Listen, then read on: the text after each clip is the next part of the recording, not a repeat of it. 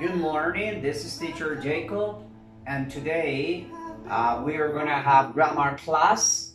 Today is March 24th, 2020, grammar class, UPT 22, pages 32, 38, and 38. Uh, exercises 1, 2, 3 from those pages. Okay, today we're going to study uh, past simple and past continuous. Uh, but this is going to be in English and Spanish. So today I'm going to explain to you the grammar in Spanish. Okay, let's do it. Hoy vamos a ver eh, pasado continuo y pasado simple. Pues vamos a empezar con el pasado continuo.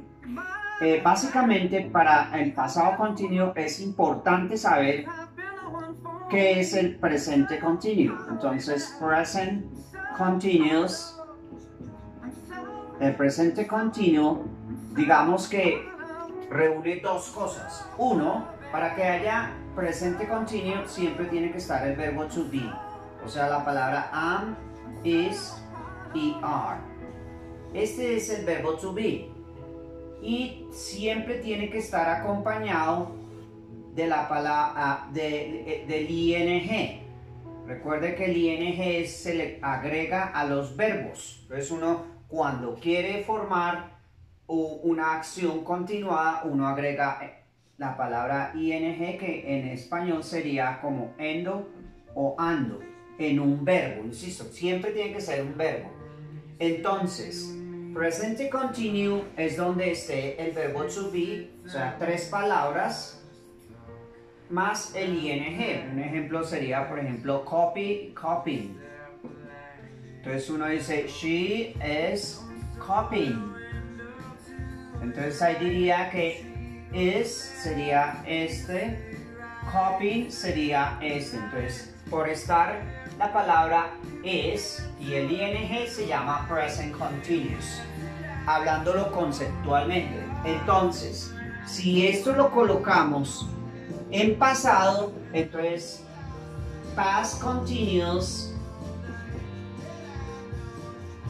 past continuous will be the same, será lo mismo, porque colocamos el verbo to be, pero ahora ya en pasado. Entonces, si en presente son tres palabras, en pasado solo son dos, was y la palabra were. Es importante saber que was siempre va a ser singular y were siempre va a ser plural. Entonces, en was vamos a utilizar los pronombres en singular. O sea, estos pronombres como I, she, he, it son singular, son uno solo. Y el were siempre vamos a indicar que es plural. O sea, utilizamos los pronombres en plural. Sin embargo, no se les olvide que la palabra yo es singular o es plural. Luego, en pasado tenemos dos palabras. Este siempre debe estar acompañado con el ing. Entonces, el concepto del verbo to be, pues, el concepto de past continuous es donde está el verbo to be en pasado más el ing en los verbos. Recuerde que el ing es para los verbos. En este caso vamos a colocar copy. ¿Listo? Entonces, ahí tenemos que esa sería la, digamos, la, el concepto de present continuous. Present continuous es, presente continuado es el verbo to be, pero en pasado. Entonces, ya no vamos a necesitar el verbo to be en presente, sino en pasado. Entonces, en este caso, quedaría el was y el were más el ing. Vamos a hacer un caso específico. She was uh, she was working in her office.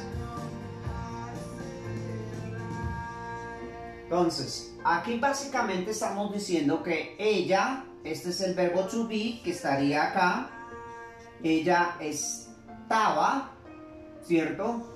Y ese ING que es el siguiente concepto trabajando en su oficina. Ahí es donde quiero que miremos. Entonces vamos a ver otro ejemplo, ¿listo?